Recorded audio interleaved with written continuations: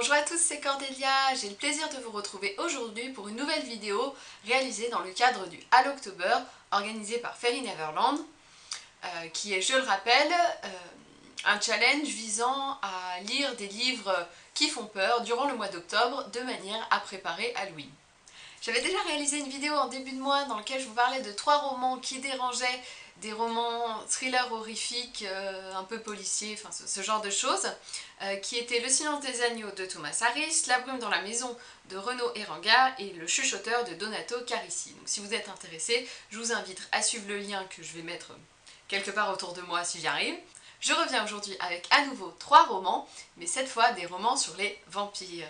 Alors attention, on ne parlera pas de vampires qui paillettent au soleil, de vampires végétariens, de vampires qui ont des histoires d'amour avec des humains, enfin ce genre de choses euh, auxquelles je suis totalement réfractaire, hein, il faut l'avouer. Bon, j'ai lu Twilight, hein, comme tout le monde, j'ai beaucoup aimé euh, quand j'avais 15 ans, sauf que bon, voilà, maintenant j'en ai 21, hein, et on passe un petit peu à autre chose. Il y a vraiment des tas d'histoires de vampires qui sont absolument excellentes et certaines sont même devenues des grands classiques de la littérature. Attendez-vous à des vrais vampires qui sucent le sang, qui tuent des gens dans d'atroces souffrances, qui crament mortellement au soleil, euh, des vampires sadiques, des vampires un petit peu moins sadiques mais euh, quand même un petit peu malsains, bref, des types pas très fréquentables. Mais bon, c'est ce qui fait tout l'intérêt, hein, on est d'accord? Je commence tout de suite avec le premier roman, qui n'est autre que Entretien avec un vampire d'Anne Rice. Il se trouve qu'il y a un film, euh, Entretien avec un vampire, avec Brad Pitt et Tom Cruise, mon dieu, ils sont trop beaux, euh, que je vous conseille de, regarder si, ça vous intéresse, parce que franchement je trouve que c'est un bon film, même si euh, il a quand même un petit peu vieilli. Et donc j'avais vu le film avant de lire le livre, et après avoir lu Twilight. Et quand j'ai vu le film, je me suis dit, mais c'est pas possible, elle, a tout piqué. C'est... En fait, vous voyez Carlyle dans Twilight. Bah en fait c'est l'histoire de Louis, hein. C'est tout Louis. Enfin bon après, euh, peut-être qu'il n'y a absolument euh, aucune raison de côté mais bon quand j'ai vu le film j'étais choquée, je me suis dit mais c'est pas possible. C'est une photocopie quoi, une mauvaise photocopie en plus. Entretien avec un vampire, ça raconte l'histoire de euh, Louis, qui est un, homme originaire de la Louisiane du XVIIIe siècle et qui a plus ou moins le malheur de croiser euh, le vampire Lestat, qui fait de lui un vampire. Et donc c'est toutes euh, les débuts de, vampire de Louis, on le voit découvrir sa nature vampirique, on le voit euh, découvrir un peu comment on tue des gens, comment on se nourrit, tout ça. Et l'intérêt de Louis, c'est qu'il est très réfractaire à sa nature vampirique. Il est, doté d'un nom d'empathie qui est très important et qui s'est encore plus développé euh, du fait d'avoir reçu le, don obscur. Et euh, donc il répugne à tuer, des, à tuer des êtres humains, contrairement à la quasi-totalité des vampires. Il y a un moment où il essaye de se nourrir de, sang d'animaux, mais bon, ça, marche pas très bien, enfin c'est moyen.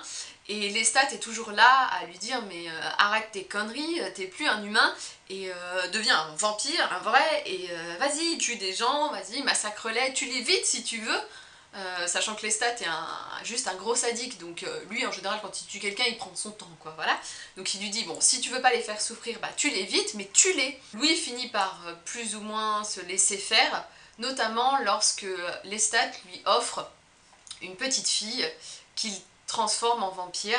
Donc voilà, c'est leur histoire à tous les trois, et c'est vraiment un livre qui m'a énormément plu, j'adore la manière dont, l'histoire est racontée, j'adore le fait qu'on se balade au, au 19e siècle, et que et qu'on voit, on, ouais, on découvre vraiment la société des vampires, on croise aussi le vampire Armand, qui a un autre livre... Euh, il se trouve qu'Ayn Rice a fait, euh, enfin, elle a écrit plein plein de livres autour de, tous ces personnages. Donc là, c'est le livre sur Louis, sur Louis. Ensuite, vous avez Lestat le vampire, donc qui va raconter l'histoire de Lestat, euh, que j'aime énormément d'ailleurs aussi. Lestat, c'est mon préféré. J'ai appelé ma guitare Lestat, c'est pour dire. Et il y a aussi Armand le vampire, il y a La Reine des damnés, enfin bon voilà, il y a toute une toute une série de bouquins qui sont vraiment excellents et euh, les vampires, la manière dont les vampires sont décrits, c'est vraiment très intéressant. Et personnellement, quand j'écris des histoires de vampires, puisque ça m'arrive, c'est de ces vampires-là dont je m'inspire. Le deuxième livre dont je vais parler, euh, c'est un diptyque qui s'intitule L'historienne et Dracula de Elisabeth Kostova. C'est un livre que j'ai lu il y a très longtemps, je me rappelle, c'était au collège et ça m'avait beaucoup marqué parce que même si je vais pas dire qu'il est violent, mais il y avait quand même des, scènes assez dures et assez adultes. Et c'est vrai que à l'époque ça m'avait marqué et que bah, aujourd'hui je me rappelle encore de ce livre comme d'un livre faisant assez peur, assez angoissant. Donc c'est l'histoire d'une jeune fille euh, qui est étudiante et qui se retrouve par un, plus ou moins un concours de circonstances à enquêter sur euh, Dracula. Et donc euh, Dracula, Vlad Dracula, Vlad de Valkyrie, on est euh, dans les Carpates, tout ça. Elle étudie euh, cette histoire, je crois qu'elle est aussi à la recherche de son père, enfin bon, il y a tout un tas d'intrigues annexes. Euh, mais en tout cas, elle finit à Constantinople, enfin, Constantinople, c'est Istanbul maintenant. Donc voilà, elle finit par faire ses enquêtes à Istanbul et elle va dans les Carpates. C'est vraiment un livre qui se place un petit peu comme un livre historique donc on est sur une enquête euh, sur ce qui s'est passé il y a euh, des siècles et c'est ça qui fait vraiment tout l'intérêt. Euh, elle est là à chercher dans les bibliothèques, elle cherche des indices, elle trouve des, récits, des témoignages et en même temps elle se rend compte qu'il y a des gens qui la suivent, qu'il se passe des trucs bizarres et que peut-être bah, les vampires ça existe peut-être et peut-être que Dracula Dracula a vraiment existé, enfin Vlad de Valkyrie a existé, mais est-ce qu'il était un vampire ou pas? Enfin, c'est très très étrange, c'est vraiment très très prenant, enfin on lit les deux tomes, euh, enfin tout de suite quoi, il faut les lire coup sur coup parce que sinon c'est trop frustrant. Il y a tout l'aspect historique qui est très intéressant, euh, les personnages sont plutôt, plutôt attachants, on a aussi euh, toute cette histoire, parce que je crois que ça se passe au moment, avant la, chute du mur de Berlin, et donc euh, il y a tout un tas de problèmes pour euh, aller euh, en Europe de l'Est parce qu'il faut avoir les visas, donc il faut qu'elle justifie sa présence, machin, enfin bon voilà. En même temps elle rencontre un gars qui enquête aussi sur les, vampires des Carpates, enfin bon voilà, c'est tout un truc. Et c'est vraiment excellent.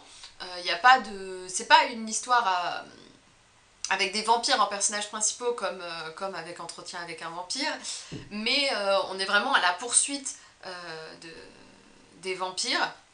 Et euh, on est pendant très longtemps, on est aux frontières, euh, aux frontières du réel et de l'imaginaire. Et c'est ça qui fait euh, l'intérêt du livre, c'est que on se demande est-ce que c'est vrai, est-ce que c'est pas vrai, et puis au fur et à mesure, on plonge un peu dans le fantastique, et c'est vraiment passionnant. voilà, c'est vraiment un livre que je vous conseille, je pense pas que c'est très connu, j'en ai quasiment jamais entendu parler. Et d'ailleurs, je crois que je n'ai vu ce livre que dans la bibliothèque de mes parents. Mais si vous avez l'occasion de vous le procurer, peut-être qu'il est en bibliothèque, je sais pas trop, euh, essayez de le lire parce que c'est vraiment un bon livre pour le coup et euh, c'est bien mieux que toutes les histoires d'amour de vampires euh, qu'on nous balance à l'appel sur les rayons à la FNAC. J'ai beaucoup hésité sur le choix du troisième livre. J'aurais voulu pouvoir vous présenter Dracula de Bram Stoker, mais il se trouve que j'ai ce livre dans ma bibliothèque depuis des temps immémoriaux et que je n'ai toujours pas réussi à m'y mettre. J'espérais pouvoir le lire euh, pour le présenter dans cette vidéo, mais euh, bon voilà, il se trouve que je l'ai toujours pas commencé, j'ai lu autre chose à la place, j'ai lu euh, le tome 1 de Millennium si ça peut vous intéresser. donc je ne vais pas vous parler de ce livre, mais je vais vous parler de Je suis une légende de Richard Matheson, c'est comme ça qu'on le prononce. si vous avez vu le film avec Will Smith qui s'intitule Je suis une légende, vous devez vous demander mais qu'est-ce qu'elle nous fait et pourquoi elle nous parle d'un bouquin de SF Alors oui, Je suis une légende, c'est effectivement un roman de science-fiction.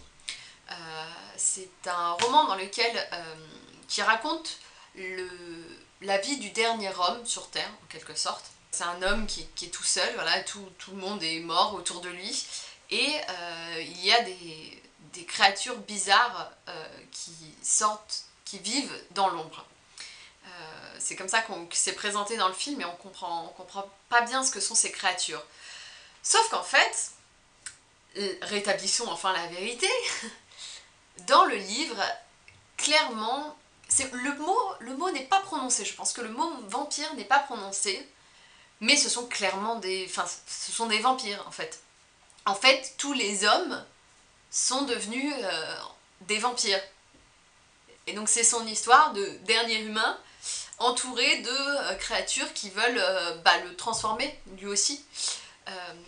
Et pas, en c'est pas seulement des histoires de bouffées et de créatures qui n'ont plus de qui n'ont plus d'âme, on n'est pas dans des histoires de zombies là. Bon, peut-être que c'est un peu spoilé que de dire ça, mais si, vous, si vous pensiez que le livre c'était comme le film, non, en fait, non, non, pas du tout. C'est le livre, euh, effectivement, il y a des choses qui, qui, se rapprochent, mais le livre est beaucoup plus intéressant.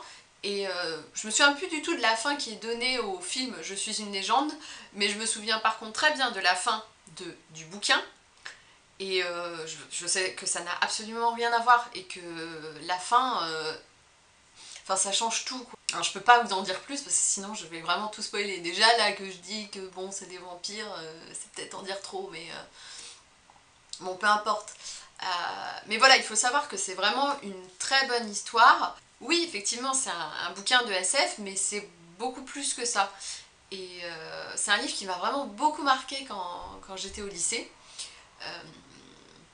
parce que c'est passionnant tout du long, on se demande mais qu'est-ce qui va se passer? C'est un, bouquin qui est très inquiétant, bah, notamment à cause du fait qu'on est avec un homme qui est seul et qui est entouré de créatures qu'il ne comprend absolument pas, il comprend pas ce qu'ils lui veulent, enfin il doute raisonnablement que ces bestioles lui veulent du mal, il comprend qu'il euh, y a quand même une grosse similitude avec les êtres humains, enfin ne serait-ce que biologiquement, il se doute qu'il y a une histoire d'infection. C'est des vampires, c'est pas vraiment des vampires, enfin bon, euh, on joue un peu sur les mots là, c'est entre le zombie et le vampire, enfin... Ce qui est intéressant avec Je suis une légende, c'est aussi la manière de traiter la question du vampirisme, qui est totalement à contre-pied de ce qui peut se faire dans Dracula, Entretien avec un vampire, Twilight, euh, Chronique d'un vampire amoureux, enfin j'en sais rien, tous ces machins-là. On est vraiment dans quelque chose de, différent. Donc on retrouve euh, une ambiance qu'on aime, avec euh, cette ambiance oppressante, le côté euh, je te mords, tu, tu, deviens comme moi, quoi. Mais, ouais, c'est différent. Il y a aussi l'ambiance SF qui est sympa, un peu post-apocalyptique, enfin avec des, créatures, le début d'une nouvelle ère. Et euh, tout ça mélangé, c'est vraiment génial et euh, j'adore ce bouquin, il faut absolument que je le relise, avec aussi Historienne et Dracula d'ailleurs. Mais bon, je ne peux pas euh, tout relire et ça me frustre énormément parce que j'ai aussi énormément de livres à lire, bref. Bon, je ne vais pas m'étaler là-dessus parce que sinon ma vidéo va faire 15 000 ans. Pour le coup, c'est une vraie bonne histoire qui fait peur et on est dans l'ambiance, je pense qu'on est totalement dans, l'ambiance vampire, même si on n'est pas sur le, côté les, vampires très vieux euh, qui sont âgés de 1000 ans et qui n'ont pas vieilli, tout ça. Euh, mais euh, on est sur le côté infection virale. et, puis bon, ça, ça rentre totalement dans le thème d'Halloween, donc allez-y, foncez quoi. C'est trop bien, je suis une légende. En plus, c'est un, un, classique quoi. C'est terminé. Alors, je crois que c'était un petit peu confus cette vidéo. notamment parce que j'avais j'avais un peu de mal à m'exprimer aujourd'hui, c'était bizarre. Euh, mais bon, en tout cas, j'espère que je vous ai quand même fait découvrir des livres. Euh, je pense qu'il y a peu de chances pour que vous connaissiez euh, l'historienne et Dracula, donc pour le coup, c'est peut-être quelque chose à noter. Entretien avec un vampire, vous en avez forcément entendu parler, mais si vous ne l'avez pas lu, je vous encourage à lire. Et Je suis une légende, il y a des chances pour que vous ayez vu le film, et à ce moment-là, je vous encourage à lire le livre, parce que c'est différent et que c'est encore plus cool. Si vous avez aimé cette vidéo, je vous encourage à mettre un pouce en l'air et éventuellement à vous abonner à la chaîne pour être tenu au courant de mes nouvelles publications. Sachez que j'ai également une page Facebook, les liens sont dans la description. Euh, je suis aussi sur Twitter, j'ai le blog, tout ça, enfin bon bref, tout est dans la description. En tout cas, si vous avez des vraies bonnes histoires de vampires à me conseiller, n'hésitez pas à les poster en commentaire, je suis toujours preneuse. Et je vous dis à très vite pour une prochaine vidéo.